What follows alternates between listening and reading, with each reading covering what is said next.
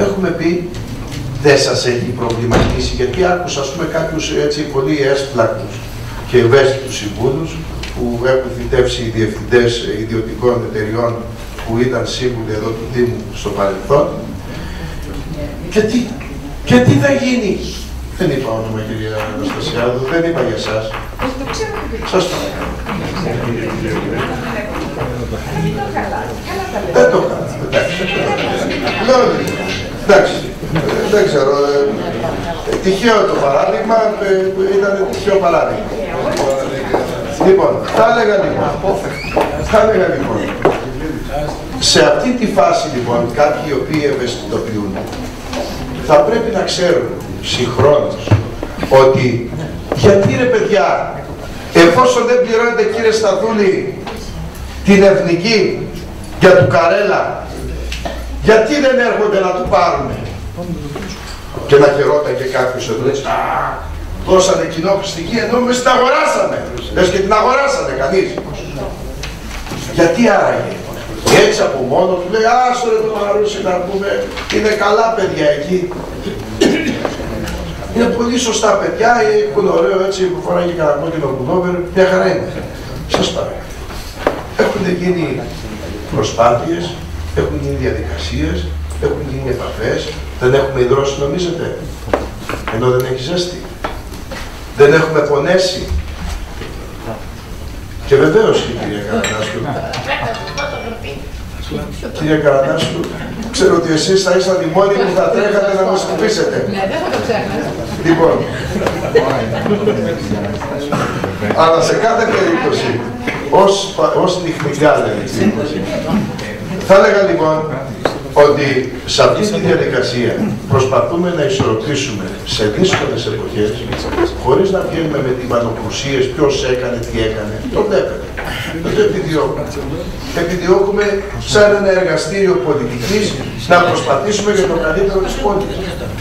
Εδώ λοιπόν, ποιος είπε δεκάδες φορές για το Ταμείο Παρακαταθήκων, για τα θέματα των ΚΑΠ, για τα θέματα να βρεθούν πόροι από εκεί, για το θέμα να μπορέσουν να δοθούν κάποια δάνεια, για το θέμα των ρυθμίσεων με τις ίδιες τις τράπεζες, εφόσον κάποιοι πολύ ευαίσθητοι πολίτες εδώ κάνανε τότε που κάνανε την αναχρωμοδότηση του 2008 ό,τι μπορούσαν για να μην γίνει και να μην κερδίσει 14 εκατομμύρια τουλάχιστον ο Δήμος.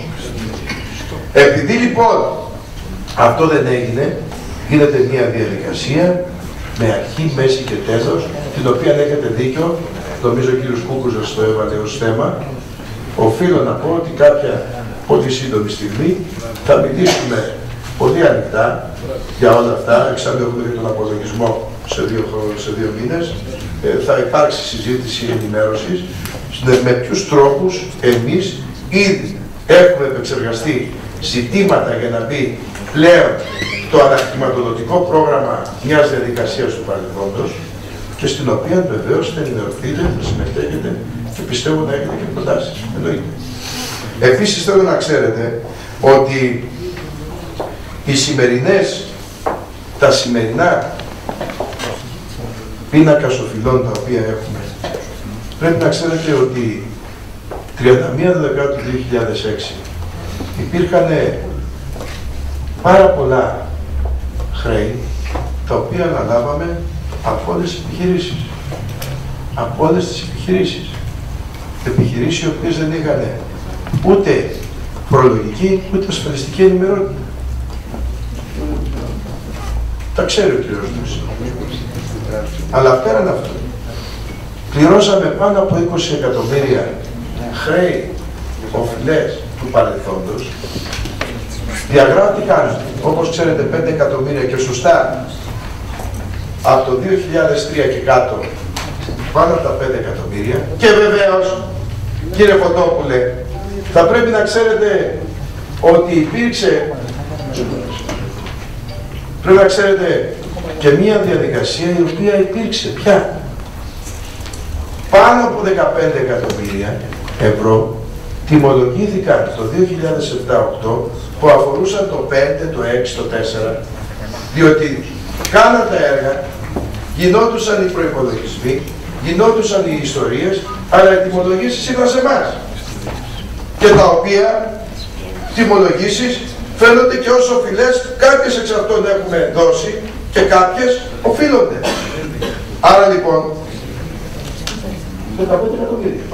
Άρα λοιπόν, κυρίες και κύριοι, θα έλεγα ότι μέσα σε μια προσπάθεια ανθρώπινη και για τους εργαζόμενους μας και για τα δημοτικά μας θέλη που δεν αυξήσαμε και απέναντίας μειώσαμε στους αναρτήρους, τα ξέρετε αυτά, και συγχρόνως σε έναν εξορθολογισμό οικονομικό τον οποίο έχει, έχει γίνει και ένα πρόγραμμα το οποίο θα σας φέρουμε σύντομα για να μπορέσετε να αντιληφθείτε, αλλά και στο επίπεδο της αξιοποίησης, κύριε Βλάκο, επειδή εσείς μιλήσατε για την αξιοποίηση. Συγγνώμη, κύριε Καρανάσου, θα σας απασχολήσω για λίγο. Ε, πουλήθηκαν πάνω από τα, πάνω από τα 47 διαμερίσματα, όπως είπε πολύ σωστά ο κύριος Πέπας, το 90% λόγω της υποθήκης δινόντουσαν απευθείας στη μορφή και συγχρόνως, όπως ξέρετε, αξιοποιήθηκαν όλα τα κτίρια τα οποία είτε νοικιάστηκαν είτε μπήκαν νομικά πρόσωπα μέσα. Αυτή τη στιγμή βρίσκεται στη διαδικασία της τεχνολογίας όλου του κτηρίου κύριε Παλάς που βάζετε σε δημοπράτηση ενοικίασης, όπως επίσης και κτίριο το οποίο και το έχω πει κατά επανάληψη, όπως είναι, παραδείγματος χάρη, η αξιοποίηση του κέντρου του πολιτισμού, το οποίο παράγει πολιτισμό. Άρα αξιοποίηση υπήρξε. Δεν αφήσαμε ούτε κουφάρι άδεια, ούτε εκεί που μπορούσε να υπάρξει πώληση. Υπάρχει μια κρίση στην αγορά στο επίπεδο της πώλησης τώρα. Είναι σαφές. Και με εκείνη την τράπεζα. Δεν νομίζετε ότι είναι όλοι οι άνθρωποι εξυπηρετούν τα συμφέροντά τους.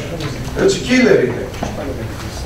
Άρα λοιπόν, υπό αυτή και να μην φέρω τις εργολαβίες Ρεστάωρο, Μιχαηλίδης, οι οποίοι ξαφνικά μας λέγανε χρόνοι και διάφοροι άλλοι. Τώρα δεν χρειάζεται να πω σε αυτό, αφήστε το. Θα έλεγα λοιπόν ότι αγαπητές κυρίες και κύριοι, η διοίκηση αυτή σέβεται τις υπηρεσίες. Δουλεύει με τις υπηρεσίες. Είναι μια δύσκολη χρονική στιγμή. Αντιλαμβάνομαι ότι ο κάθε ένας έχει τη δική του οπτική γωνία. Καλό είναι. Αλλά και συγχρόνως να βρούμε επιτέλους σε αυτή την αίθουσα και αυτά που μας ενώνουν. Δεν μπορεί όλα να μας χωρίσουν. Δεν είμαστε από άλλο πλανήτη. Είμαστε από την ίδια πόλη, οι οποίοι προσπαθούμε με τον δικό μας τρόπο, που βεβαίως έχουμε το δικό μας πολιτικό στίγμα, κατανοητό, αλλά που στις δύσκολες συγκυρίες χρειάζεται όλοι μαζί να βάλουμε όταν χρειάζεται και στο ελάχιστο που χρειάζεται πλάτη για να μπορέσει ο Δήμος να πάει μπροστά. Ευχαριστώ. Ευχαριστούμε και εμείς.